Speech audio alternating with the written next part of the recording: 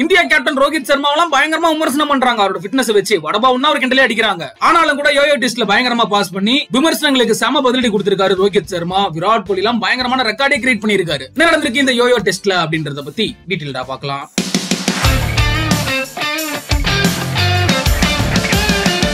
இந்த ஆண்டுக்கான ஆசிய கோப்பை தொடரானது வரக்கூடிய முப்பதாம் தேதி பாகிஸ்தான் மற்றும் இலங்கையில தொடங்க இருக்கு. இந்த தொடர்ல பங்கேற்பதற்காக இந்திய அணி தற்போது பெங்களூர்ல பயிற்சியில தொடங்கி இருக்காங்க.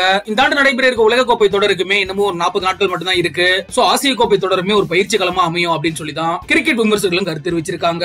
இந்த நிலையில தான் வெஸ்ட் இண்டீஸ்க்கு எதிரான தொடருக்கு பிறகு ஒரு மாத காலமா ஓய்வுல இருந்துகிட்டு இருக்காங்க முக்கியமான இந்திய வீரர்கள்லாம். அவங்களோட உடற்தகுதி எப்படி வச்சிருக்காங்க அப்படிங்கறத சோதிக்கும் வகையில தான் பெங்களூர்ல இருக்கக்கூடிய ஒவ்வொரு பிளேயருக்குமே யோயோ சோதனை நடந்திருக்கு. யோயோ டெஸ்ட் அப்படிங்கிறது வீரர்களோட உடற்தகுதி தகுதி சோதிக்கிற தேர்வுல முதன்மையான ஒன்னா பார்க்கப்படுது. பிளேயர்ஸ் எந்த அளவுக்கு ஸ்டெமினாவோட இருக்காங்க? எவ்வளவு நேரம் ஒரே அளவிலான சக்தியை வெளிப்படுத்துறாங்க?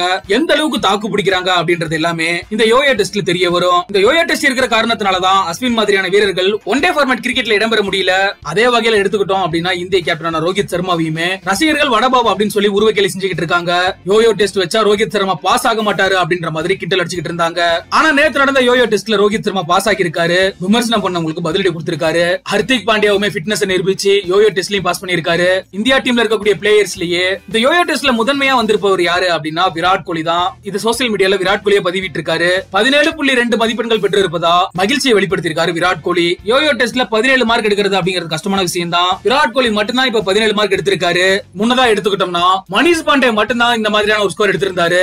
அதை இப்ப விராட் கோலி முறியடிச்சிருக்காரு அப்படிங்கிறது குறிப்பிடத்தக்க விஷயம். ஆசிய கோப்பை தொடர் உலக கோப்பை தொடர்னு இரண்டு பெரிய தொடர்கள் வர காரணத்தினால வீரர்களோட பிட்னஸ்ல பிசிசிஐ ரொம்பவே கவனம் செலுத்தி இருக்காங்க இந்திய அணி ஐசிசி டிராபியை வின் பண்ணி கிட்டத்தட்ட பத்து ஆண்டுகள் ஆகிருச்சு. அதற்கு பல்வேறு காரணங்கள் இருந்தாலும் கூட முக்கிய காரணமா பார்க்கப்படுறது காயம் காரணமா பெரிய தொடர்கள்ல முக்கிய வீரர்கள் இடம்பெறாம போனதுதான் பெரிய மைனஸா பார்க்கப்படுது. சரி ஓகே நீங்களும் மறக்காம கமெண்ட் செக்ஷன்ல பதிவு பண்ணுங்க. விராட் கோலியோட பிட்னஸ் பத்தி உங்களோட கருத்துக்களை